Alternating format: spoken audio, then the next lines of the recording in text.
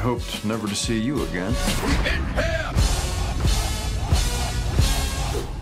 What's up, dog? We're back. Ladies, nobody gave a shit about the Jump Street reboot, but you got lucky.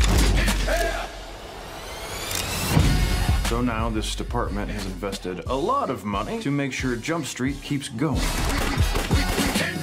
The only problem is the Koreans bought the church back, so we're moving you across the road to 22 Jump Street.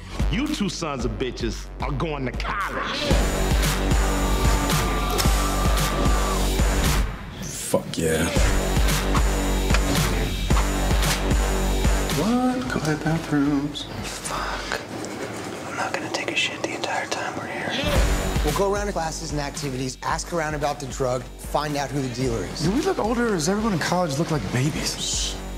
Some of us are trying to study, so can you take it down to a level of shut up? Is this the level you're looking for? Shut up. You look really old, too. You look old as shit to be here. White boy wasted. Partners for life. White boy wasted. It's just drinking games and bonding. Why is that so painful for you? No, you cannot hug me right now. Drunk stagger. Drunk swagger. I don't rap good. It don't matter. Jump Street, and we're about to jump in your ass. Right in the crack. White boy wasted. We need an expert to consult.